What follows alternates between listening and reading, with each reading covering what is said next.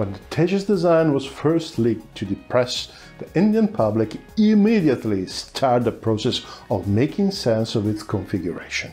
The aerodynamics is obviously what draws the attention right out of the gate, because it is, well, visible to everyone.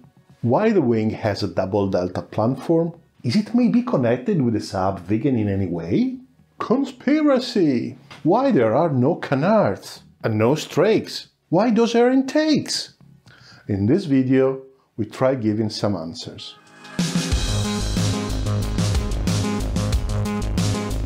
Welcome to Millennium 7 Star, the channel that helps you make sense of military history and military technology. Please stay with me till the end, because the stuff that we discuss here is not easily found anywhere else on YouTube. Mind, in this video there will be quite more interpretation than usual because the only people who know for sure why a specific configuration has been chosen are the designer. We, as usual, try applying some common knowledge to what we see and what we know.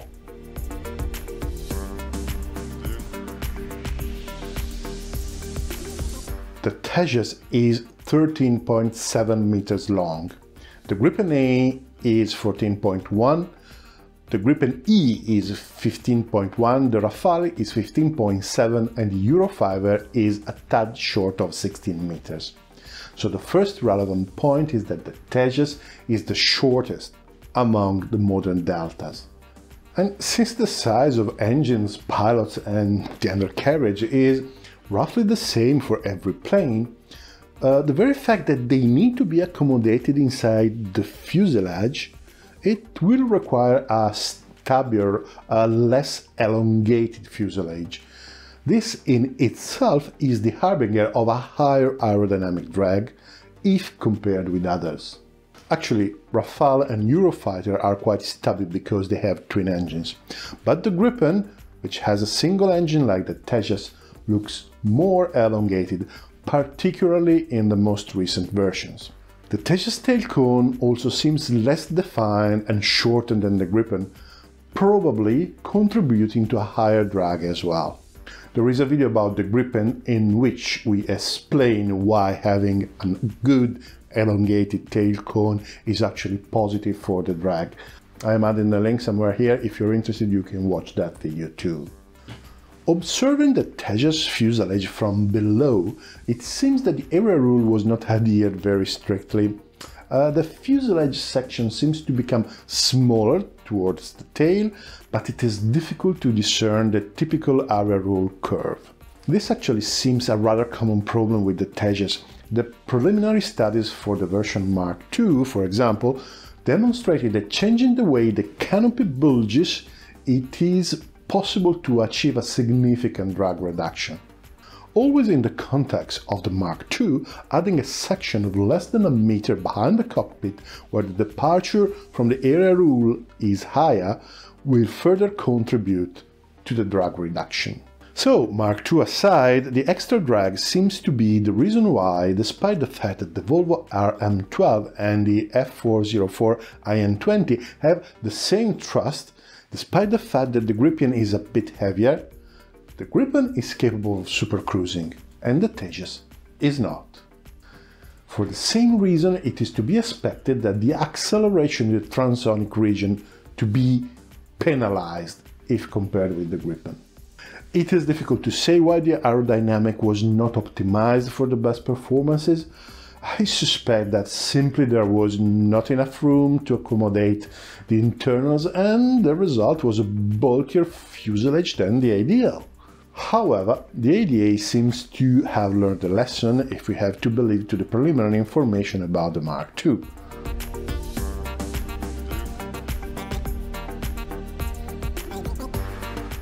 Another area where a compromise had a direct effect on the performance was the air intakes. The Tejas uses very simple air intakes that would not look out of place on a plane from the 60s. The reason for this was the understandable choice of keeping the design simple, light and cheap. Unfortunately, in the original project, they were designed for the Kaveri and the installation of the F404 required an auxiliary intake to be opened on the side of the conduit. And to be honest, this choice is not uncommon, but Gripen and Rafale have fixed intakes and they work well.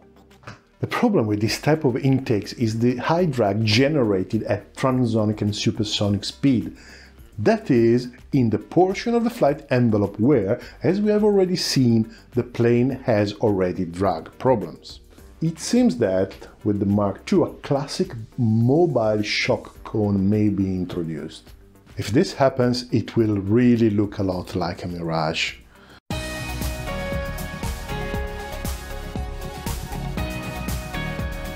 The Tejas wing is a never-ending source of discussions because it looks special. Some very particular interpretation can be found on the internet, in forums, uh, and I personally witnessed discussions among the aviation fans that tend to be quite creative. But actually, there is no mystery. Actually, it is a quite classic delta wing with a few peculiarities, but let's start from the beginning. But before starting, for those who are interested, there are a few videos dedicated to the subject of the delta wing, uh, but let's just have a brief summary.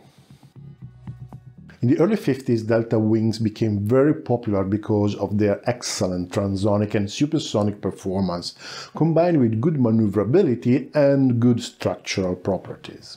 However, the problem was that the aerodynamic center of the wing moved around quite a lot.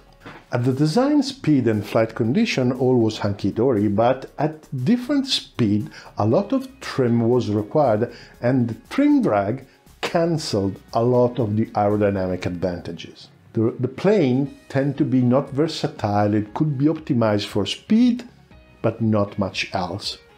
So for a while the delta wing was abandoned. The introduction of relaxed stability and fly-by-wire changed this perspective.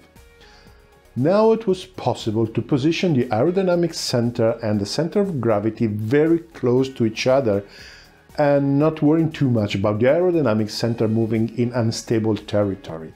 The computer could compensate all of that.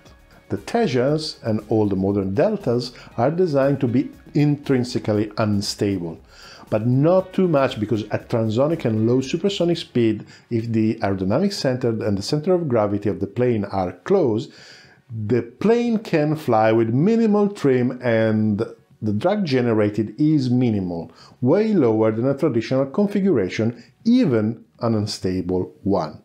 In other words, the combination Delta plus Canard has a performance sweet spot that is exactly where we need it to be, at transonic speed and at low supersonic speed. So it's not surprising at all that the Tejas were designed with a proportionally large and frankly very harmonious delta wing. What was surprising was the absence of canards. Yes, because all the design from the 80s onwards do feature canards or foreplanes. The reason of their popularity is that they greatly improve the maneuverability and the flow above the wing, improving the aerodynamic characteristics of the delta wing. And the benefit is huge. The combination delta plus canard has a performance sweet spot exactly where we want it to be, at transonic and low supersonic speed. So I believe that there are two reasons behind the absence of canards. One has been discussed on the press by official Indian Air Forces uh, sources. It was believed that the control laws and the fly-by-wire could be sophisticated enough to make the canards not necessary.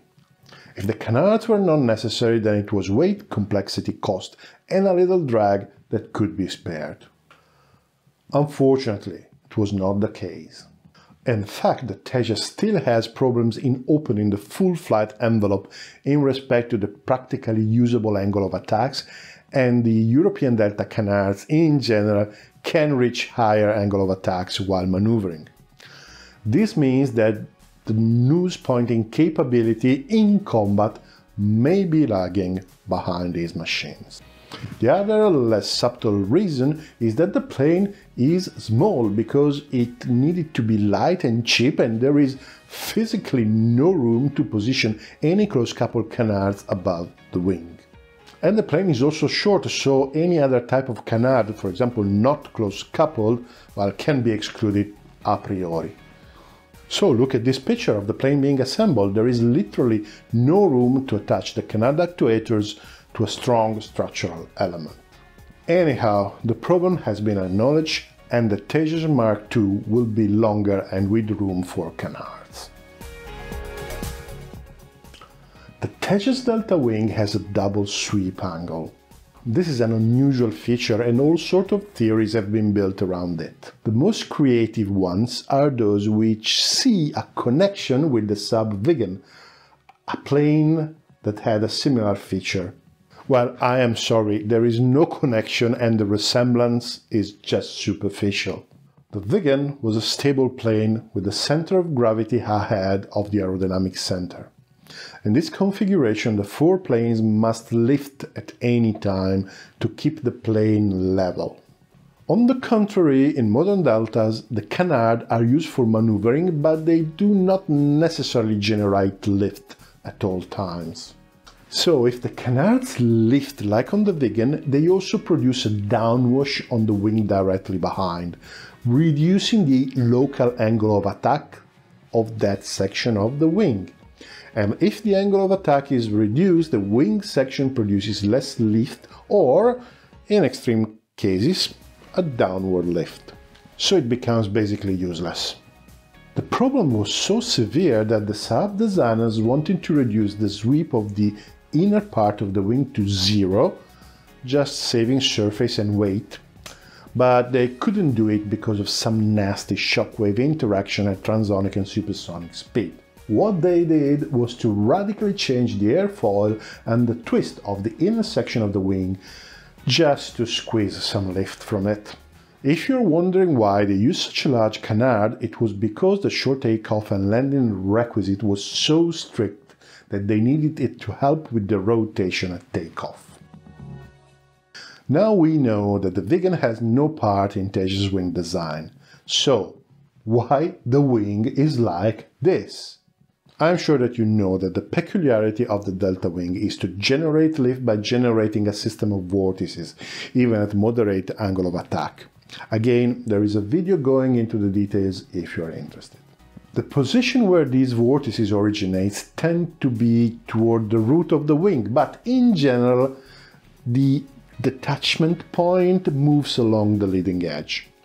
The change in sweep is used to fix the position of the vortex generation and to avoid the vortex moving too far forward. This was desirable in the case of the Tejas because the plane is so short and to avoid changing the stability conditions too much, the designers wanted to prevent the aerodynamic center from traveling too far forward, which would have happened if the vortices had moved too much forward. So what seems a landmark feature is not a sophisticated refinement to squeeze more performance, but a simple solution and effective solution to control the aerodynamic center movement. Actually, it also has the effect of increasing the wing area without changing the wingspan and the root chord, which can be beneficial for lift generation and again maneuverability. What is hardly noticed though, but is probably much more relevant to determine the performances, is the shaping of the airfoil and the various twists of the wing itself. In the slow sweep area, the leading edge is lifted up to avoid interfering with the air intakes. Outboard, it seems to be twisted in an irregular manner.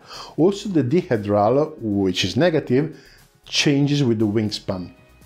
It is very difficult to give an interpretation of these features, but it seems that there was a great optimization job behind the design, no less complex or maybe even more of what can be found on other delta canards. So if you like this video, I am sure you will like the videos that are going to appear beside me. In the meanwhile, please like, dislike, subscribe and hit the bell so you won't miss anything. If you could support the channel on Subscribestar or on Patreon, that would be amazing. In the meanwhile, thank you very much for watching, stay safe and see you next time.